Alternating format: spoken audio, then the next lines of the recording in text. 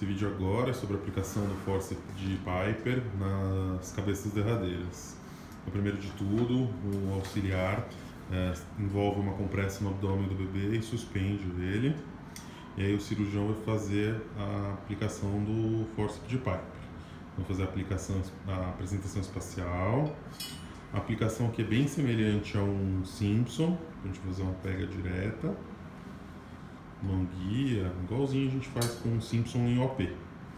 Mesma coisa. Um detalhe dessa manobra é que a gente, para articular os cabos, a gente precisa abaixar bastante os cabos. Precisa ir lá no períneo, praticamente encostado no períneo da paciente.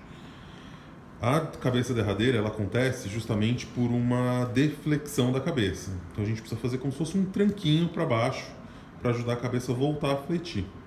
Faz um tranco, e aí a gente faz a manobra de Silheim.